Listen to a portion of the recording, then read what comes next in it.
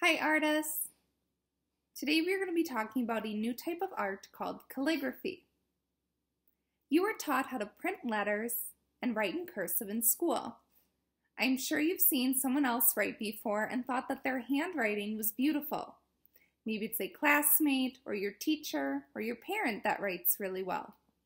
People have loved beautiful handwriting and have been turning it into art for a very long time. Calligraphy is the art of handwriting. Calligraphy is all about making letters look beautiful or to create a mood. You can find calligraphy all over the world. Here are some examples from online encyclopedias of calligraphy from Persia, Egypt, China, and England from long ago. But people still make calligraphy today too. There are many reasons why artists make calligraphy.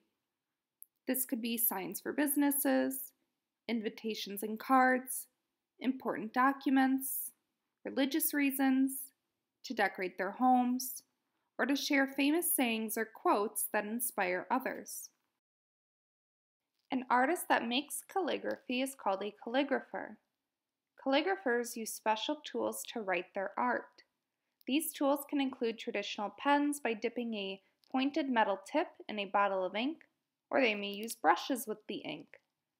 Tools that are more popular today would be markers or ballpoint pens.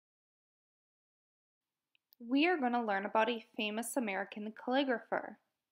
Mohamed Zakariya was born in 1942 in California, in the United States of America.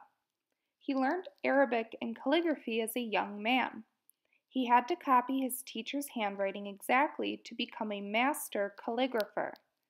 Zakariya not only writes very well in Arabic, he also makes all of his own tools.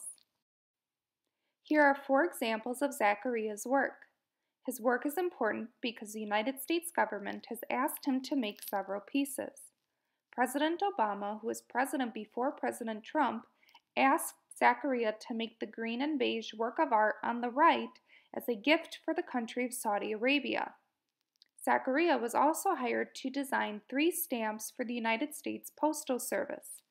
These stamps are holiday stamps for different Eids, including the end of Ramadan. Next week, I will show you some fun types of calligraphy for kids to try. You can write your name or a favorite saying and display it in your home as calligraphy art.